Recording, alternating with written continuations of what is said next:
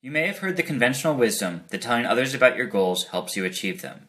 To test whether this is true for a common behavior change goal, walking more, we conducted a randomized field experiment of publicly announcing commitments to walking. In a control condition, weekly commitments were kept private. In two treatment conditions, they were announced on Facebook and by email. We find that the prospect of public accountability for commitments may prevent people from making commitments in a way that counteracts the benefits of that accountability.